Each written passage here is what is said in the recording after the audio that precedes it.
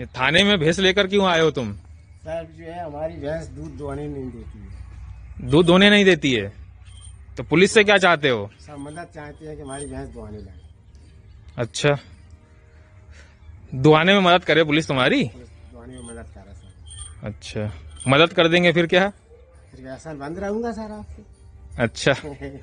Police के एहसान बंद रहोगे मतलब फिर? रहता ही है सर जो दिला रहे रहते ही है सर ठीक है चलो। ठीक है और कोई समस्या? और किसकी समस्या बस क्या समस्या तुम्हारी यही है? यही समस्या और हमारी समस्या कुछ नहीं है। अच्छा अच्छा। आपके सर जो है आप क्या कर ठीक है।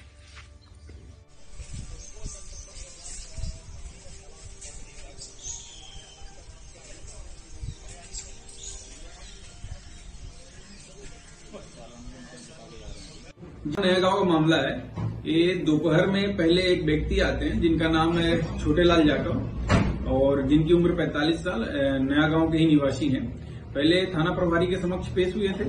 इन्होंने बताया कि इनकी भैंस दूध दुहाने नहीं दे रही है मतलब दूध निकालने नहीं दे रही है, ऐसा इन्होंने शिकायत किया।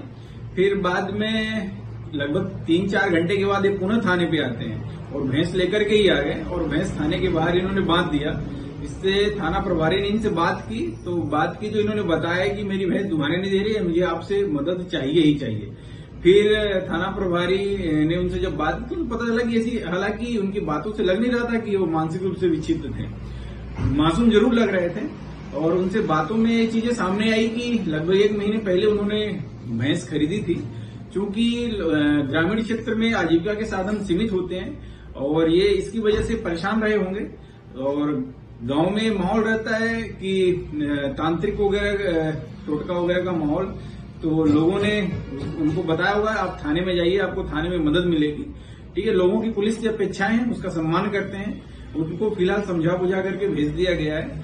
फिर भी अगर इनसे हम जो भी मदद कर सकते हैं पूरी कोशिश होगी मदद करेंगे इनकी। इस समय एक सवाल उठता है कि पुलिस उसकी मदद करेगी कैसे अगर उनको समझा बुझा करके इन्हीं बातों पर भेज दिया गया है।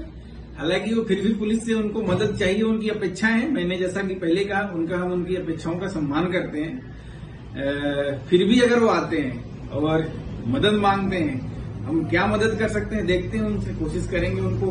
संतुष्ट करने की हमारी पूरी कोशिश होगी कि वो पुलिस की कार्रवाई से जो कुछ भी हम कर सकते हैं, संतुष्ट हों।